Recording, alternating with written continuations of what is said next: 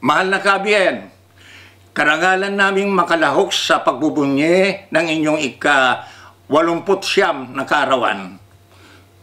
Iba yung tagumpay sa lahat ng iyong pagsisikap at pagkilos.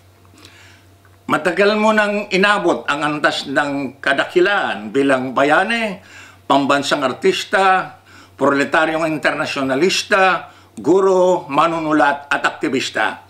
Ikaw ay maningning na uliran ng iyong salinglahi at sa mga sumusunod na salinglahi.